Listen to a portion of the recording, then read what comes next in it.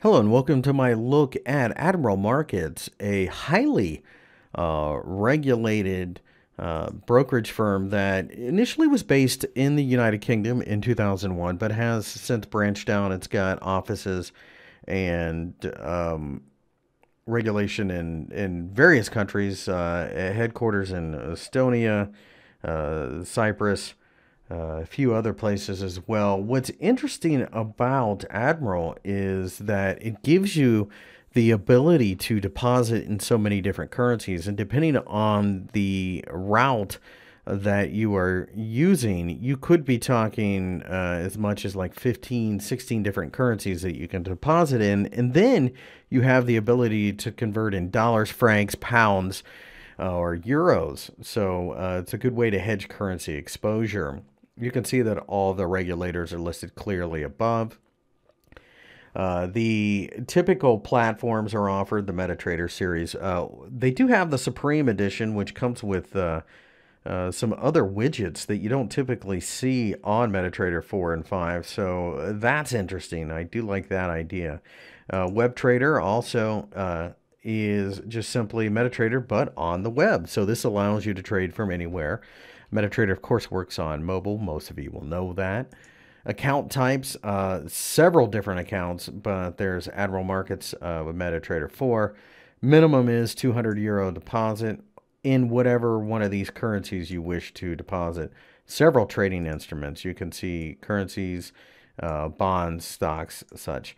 Uh, leverage is, you know, really kind of anywhere from um, yeah, 1 to 30, 1 to 20, just kind of depending on what we're looking at. Indices are a little bit lower. Spreads are uh, from half a pip. And uh, as you can see, uh, there are some commissions on ETFs, but uh, typically uh, that's uh, not a major issue because the spreads are so tight. And then you can see there are a maximum amount of lots open and pending orders, uh, etc. Now, uh, there's also the ability to do automated trading. Um, there's the Admiral Prime, which offers you more currencies, uh, a little thinner uh, spread. And uh, the one thing, of course, is there's a higher deposit. The platforms again are well known so those should be things that you are used to. And you can see that there's a list of contract specification margin requirements uh, those types of uh, deals there.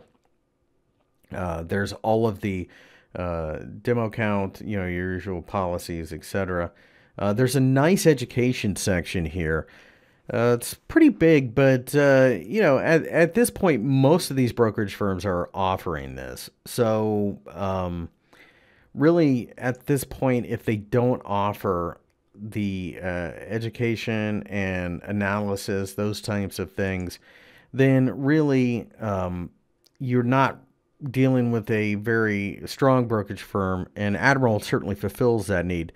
The exception, of course, is if it's a professional platform and you don't need any of that, and then the spreads or commissions or whatever are very tiny. But really, um, most of these uh, retail environment just simply have had to do this. Um, there are uh, some of your best conditions, so retail and professional terms. You can see the uh, full negative balance protection for retail. Um, you know, stronger regulatory uh, professionals reduce margin requirements. In other words, increase leverage. That's you know that comes down to the individual trader. Uh, strong uh, list of uh, markets that they go through. You can see that if you go down here, you can see uh, all of the uh, contracts. the so we go to currencies and there's 23 minor pairs, 19 exotics, five majors. So like the euro and the Czech koruna, euro Norwegian krona, euro Swedish krona, uh, New Zealand dollar Singapore pair, you know, uh, U.S. dollar offshore renminbi yuan, which of course is something that you don't get any, you know, at just any brokerage. So that's something to pay attention to as well. You know, they've been around since 2001, so clearly they have done quite well. Um, certainly a trusted brokerage firm and uh, definitely a place where you can trade the world um, in a somewhat limited manner because we only have a handful of indices or whatever, but uh, certainly enough uh, for the average trader and in good conditions.